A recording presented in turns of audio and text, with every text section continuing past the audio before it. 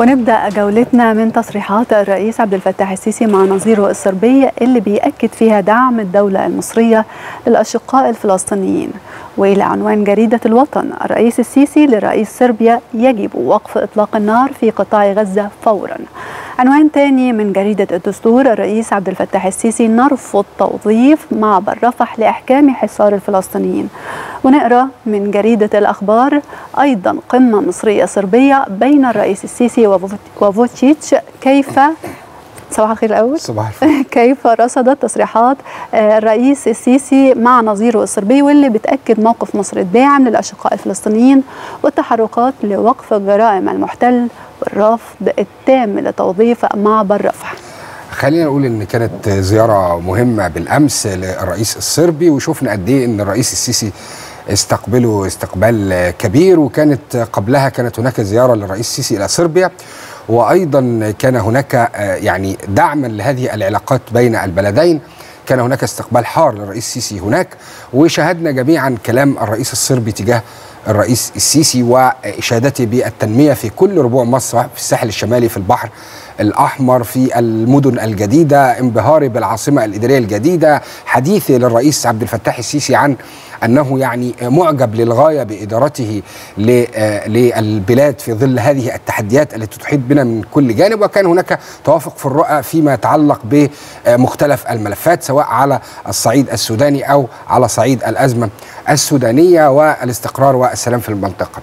الرئيس عبد الفتاح السيسي كلمته كانت مركزة جدا وكان يتحدث فيها عن أنا أعتقد أنه يعني هو تصريح يمكن أن نقول عليه تصريح حديث فيما يتعلق بتوظيف معبر رفح لإحكام السيطرة على قطاع غزة.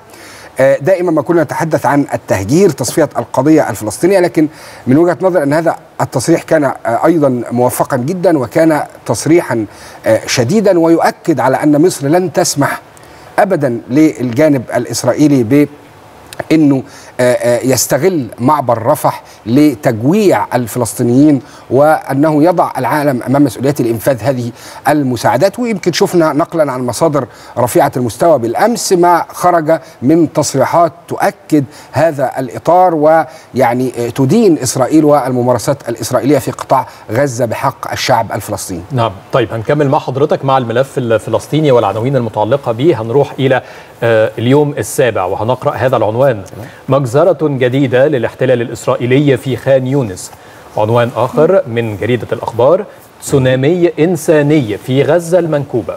هذه المجازر المرتكبة من المحتل الغاشم يعني وصف حضرتك ليها خصوصا إن إحنا لما بنتحدث عن هذه المجازر آخرها تلك التي حدثت في منطقة النواصي بنتحدث عن مبرر لاستهداف اثنين من قيادات حماس ولكن هل هذا المبرر أمام المجتمع الدولي وأمام القانون الدولي والقانون الإنساني بيعطي المبرر بقتل وإصابة ما يزيد عن 400 شخص من المدنيين العزل؟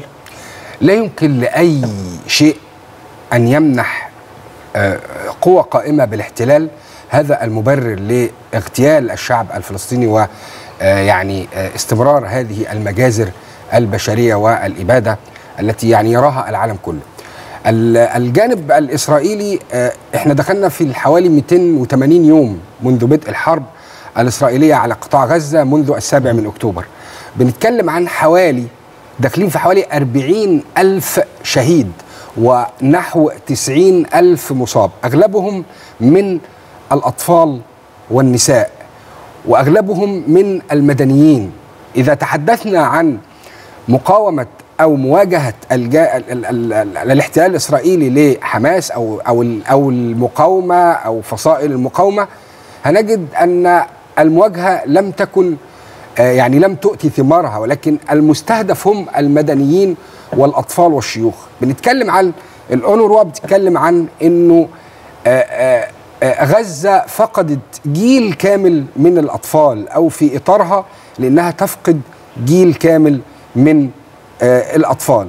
وبالتالي إحنا بنتكلم عن مجازر حقيقية بنتكلم عن موضوع صعب جدا إنه يتحل بينهم وليله لأن الاحتلال ما عندوش الرغبة في إنهاء الأمر ويعرف جيدا أن إنهاء الحرب دون تحقيق مكاسب ده بيجعلها يعني يجعل إسرائيل أمام العالم يعني مش هي هي كمان يا فندم بتستهتر بمطالبات الناس من كافة ال- الطلبات بقى. يعني في أوراق ضغط دي كتير دول كتير بتعملها سواء اقتصادية أو سياسية أو حتى آه، دولية زي محكمة العدل.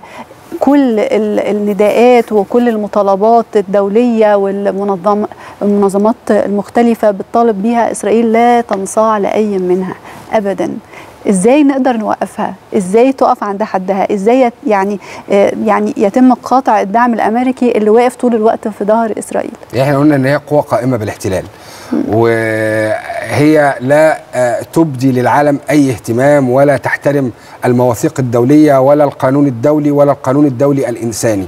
ولكن متى ترتعد آه، إسرائيل إذا يعني تخلى عنها القوى الكبيرة في الغرب والولايات المتحدة الأمريكية. ربما هذا لن يحدث لكن آه، لكن آه، مصر بتضغط بكل قوة وشفنا ال ال كل الإجراءات اللي حدثت قدام إسرا- أمام إسرائيل وهذا تطور آه، كبير في حتى السياسة الخارجية دعوة جنوب أفريقيا مساندة مصر لهذه آه، آه، الد- آه، ال- الدعوة ال ال الاعتراف آه، العالم بالدولة الفلسطينية يجعل أن القضية الفلسطينية تعود مرة أخرى إلى السطح وإلى طاولة المفاوضات ولا يجب ولا يوجد أمام إسرائيل إلا أنها تعود مرة أخرى إلى طاولة المفاوضات. وخلينا نقول أن إسرائيل لم تحقق مكاسب وانها رغم كل ال- الإجراءات الدموية اللي بتعملها لكن الداخل الإسرائيلي هش والداخل الإسرائيلي تخشى من عملية طبعا في في السابق